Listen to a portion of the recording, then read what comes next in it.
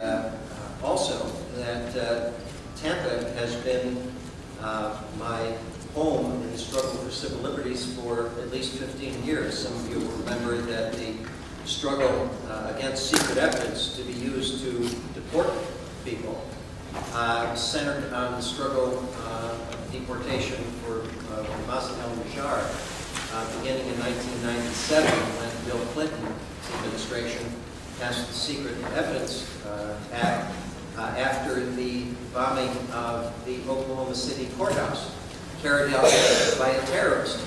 And of course, we know who terrorists are. They're guys from Buffalo with short haircuts who are former members of the U.S. Army. And there's a point to be made with that because we use the word terrorist and everybody uses the word terrorist without having a clear idea what we mean when we use that word. And it's a perfect word because we don't have addition, uh, definition for exactly what it means. I'm going to use a few examples uh, of the use and misuse of language and of American history to put our current situation into perspective. The first is a quote that I'm hoping that we'll remember. It's on my door of my office. Of course, the people don't want war, but it's not up to them.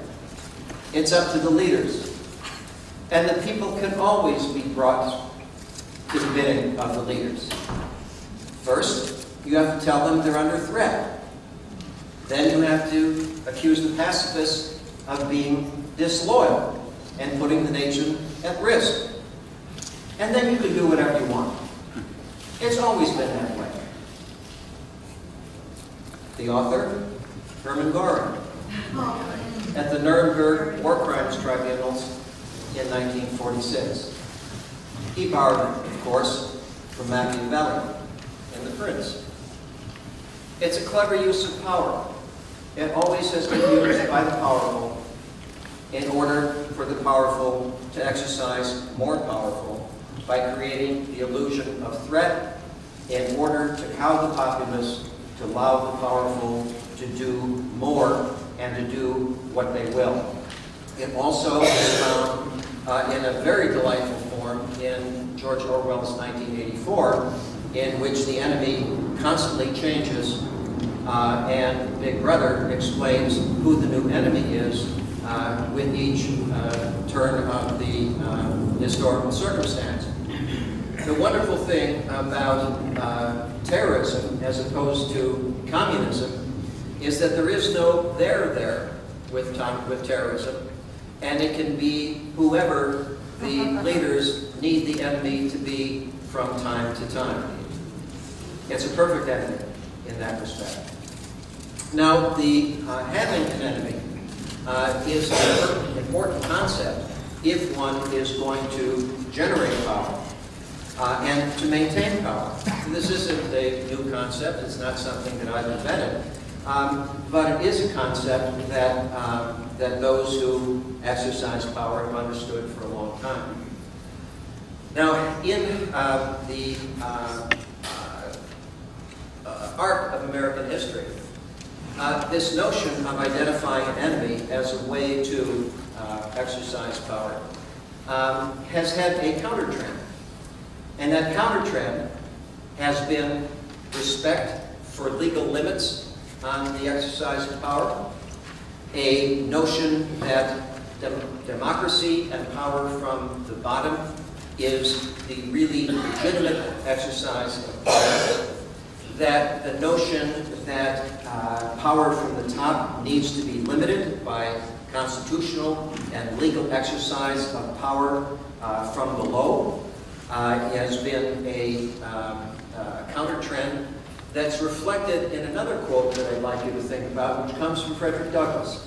Frederick Douglass, of course, was a slave, uh, educated himself, freed himself, uh, and he was a contemporary of Lincoln's. And he gives us the counter trend to uh, Goring's notion of the exercise of power. uh, he said that power concedes nothing without demand. It never has, and it never will. Those who want freedom and justice without struggle against power are like those who want the crops to grow without the rain. And the coin of the realm for those without power who wish to contest the method of exercise of power suggested by Goring are those like us who will not accept the Koch brothers dictating to the governor of Wisconsin how it is that unions will be treated in Wisconsin, find their power in what the people of Wisconsin are doing in the State House of Wisconsin today.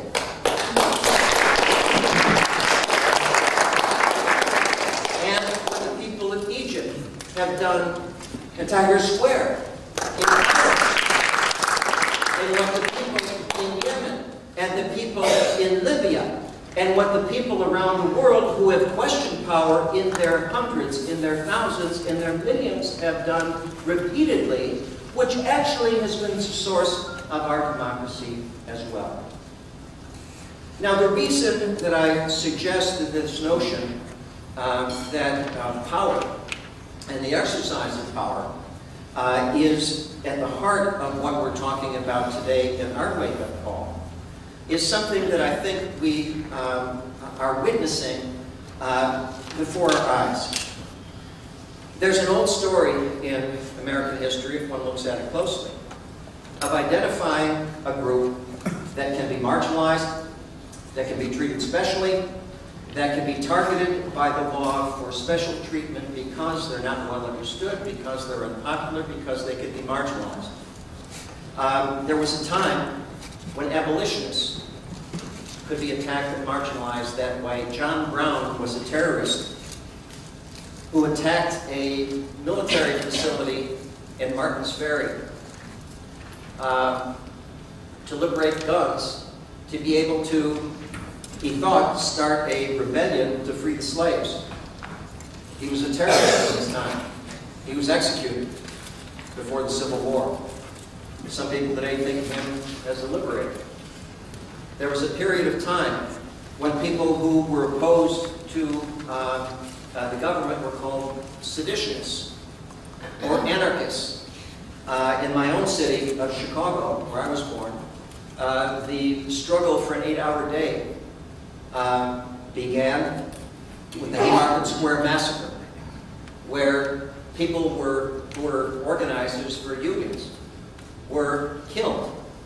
Uh, uh, and then uh, there was a huge massacre. People were assassinated and people were hung with the idea that they were terrorists in their day. Uh, eventually. Uh, in the early part of the 20th century, we've all heard stories about communists being singled out. And this relates back to why I came to Tampa in the first place in 1997. Because it wasn't until uh, actually the early 1990s when it was possible uh, to finally be a communist and to be able to get a visa to enter the United States. It took that long for the McCarthy era to be put behind us in the sense that that label uh, did not uh, exclude a person from being able to enter the United States as a normal person.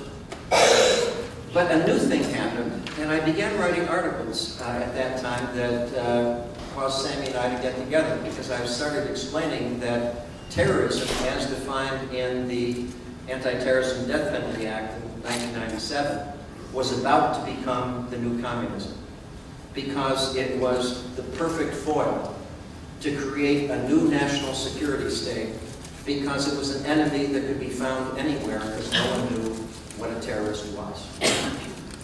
This last summer, uh, quite apart from the other uh, wonderful things that you, you, said about me that qualified me to be here, is I live in Minnesota.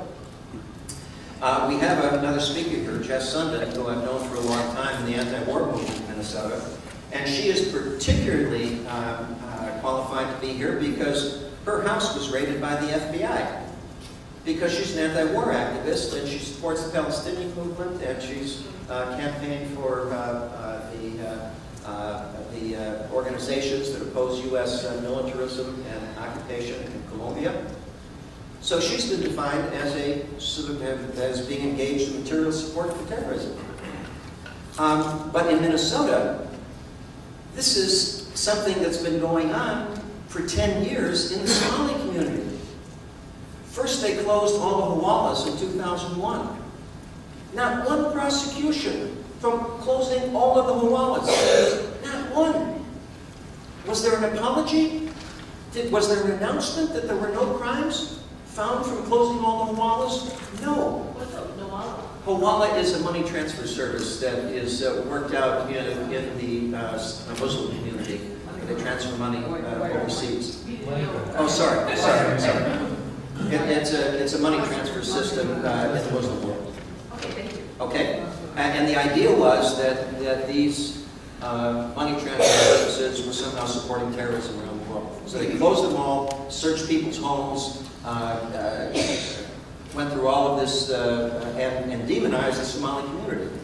Not one criminal charge, not one apology, not one public admission, admission they found none. Then in 2006, Ethiopia invaded Somalia. Ethiopia, a Christian country, uh, U.S. Air Force supported the invasion and has been openly supporting uh, Ethiopia since that time. Somali guys from around the world went back to fight for the homeland the way that Irish guys would if Britain invaded Ireland again, or if, Egypt had invaded Israel. Uh, where would all the young Israeli guys be, young Jewish guys be? That's what happened in Minnesota. And since 2006, Minnesota has been the site of the largest and most expensive anti-terrorism investigation in history. Did you know that? In the Midwest, a state of 5 million people that has 100,000 Somalis is the center of international jihad according to the FBI and the Justice Department, on the record, and has been for the last six years. And the result of the largest, most expensive investigation uh, in history has been roughly 15 pleas of guilty. Half of them have been material support for terrorism. My body was in Somalia. My body is physical. It's material. The other half were, I knew those guys were going to Somalia, but I didn't tell you. So I lied to a federal official. Last summer, the law changed again. The International, uh, uh, the uh, Humanitarian Law Project versus Holder case was decided by the Supreme Court. Elena Kagan, who's now in the Supreme Court, was asked the question, do you mean that if a lawyer is representing an organization that's been put on the forbidden list by the uh, Secretary of State, and that lawyer argues in front of the United Nations on behalf of this organization that they want the help of the United Nations in doing legal things and becoming nonviolent, that that would be material support for terrorism according to the uh, Obama administration. Elena Kagan said, yes. What has happened is just before Jess Sundin's house and the other Minnesota activists were raided, the Supreme Court changed the law to eliminate the requirement that activists have any intention of supporting illegal acts of organizations that the Secretary of State has deemed illegal to associate with. At the same time, their house, their houses were raided in the Somali community. The two women that I've been advising who collect old clothes and send them to the refugee camps in Kenya, because that's their zakat, they were indicted for material support terrorism. There's no defense. The old clothes are material. They were sending them to a refugee camp. At that refugee camp, it could be that members of Al-Shabaab will get to wear the Mickey Mouse t-shirts and the old... Um,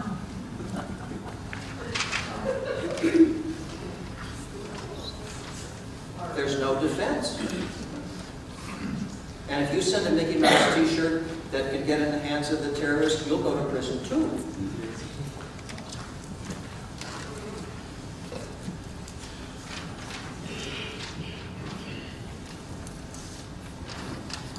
And the point is, up until now, uh, and up until the house of the activists were searched and the houses of the activists in Chicago were searched, uh, those of us who were not Muslim thought that this was a Muslim issue. In Minnesota, we thought it was a Somali issue. No, what's happened is the laws of the United States have changed in ways that are too numerous to detail here.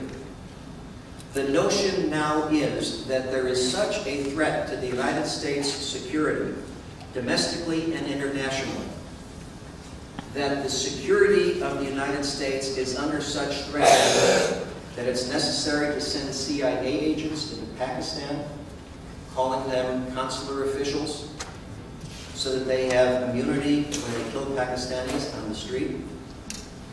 We're under such threat that it's perfectly okay for the FBI to uh, organize crimes in Portland, uh, Oregon, and then to get unwilling and unknown, unknowing uh, young men to get involved with an FBI crime, and then the FBI is successful in discovering their own crime.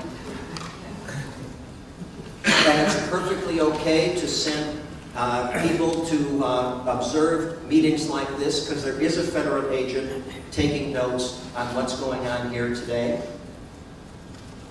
Because you see, terrorism is everywhere.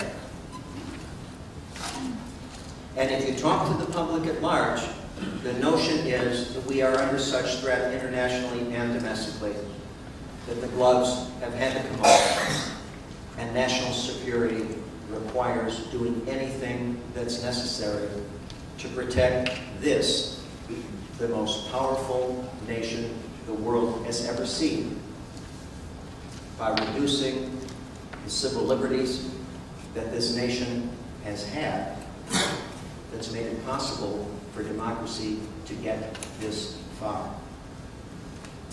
I would suggest to you that we're entering a period in our history in which the future will be determined by political activism, like what we're seeing in Wisconsin, Indiana, Ohio, and it's not going to be a struggle just to defend the civil liberties of Muslim people, but Muslim people and the struggle of Muslim people and the targeting of Muslim people shows the rest of us what's in store for the rest of us because, as Frederick Douglass has said, and those of you who have heard me speak before know that I repeat this, because he was right in the 1760s when he said this, and he is right today. Power concedes nothing without demand. It doesn't in Wisconsin. It doesn't in Indiana. It doesn't in Ohio. It doesn't in Washington, D.C. It doesn't in Tampa. It doesn't in Cairo. It doesn't in Libya. It never has, and it never will. And those who want justice and freedom without struggle are those who want the crops to grow without the rain. It will not happen without our struggle in order to turn back this wave of the change in fundamental laws that are making civil liberties more difficult to exercise and make it impossible for people like Jess Sundin to be political activists to oppose U.S. policy. And let me just show you one thing to make this concrete. This is what the Supreme Court has upheld as being the definition of a terrorist organization. The Secretary of State may designate a foreign organization only uh, as a terrorist organization only if she finds that it threatens the security of United States nationals or the national security of the United States, irrespective of what its tactics are. That means that the only way an organization can be a terrorist organization is if the Secretary of State thinks that its policies are contrary to U.S. policies. By definition, an organization that supports U.S. policy, no matter what it's doing, cannot be a terrorist organization, cannot be on the list. Do we understand clearly what that means? Two organizations fighting each other with the same tactics. One that the Secretary of State thinks is using those tactics in support of U.S. policy, U.S. security, and one that's against U.S. security, according to today's Secretary of State, only one can be terrorist. Not because of what they're doing, but because of the Secretary of State's impression of that organization's support for U.S. national security.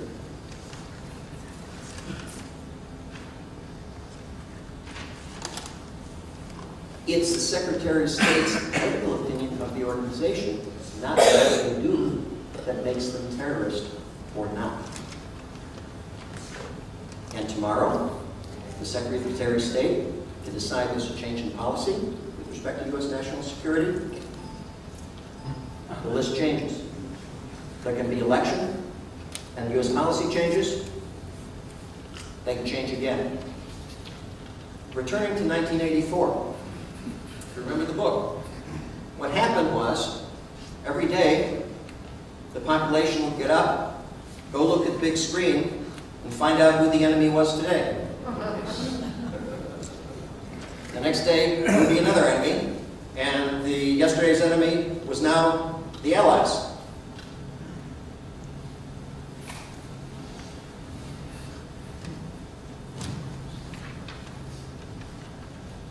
The U.S. Supreme Court, just this last summer, committed to law and upheld the Big Brother version of who the enemy will be tomorrow. So um, we have a lot of work to do, and today we're going to talk about the wake-up call and the need to do what our forebears in the United States have always done that has gotten us this far, and we can draw inspiration from what the people are doing around the world and the people are doing uh, in the northern states, and I know the people of Florida are not going to be far behind because we've got a struggle to do here too. Thank you.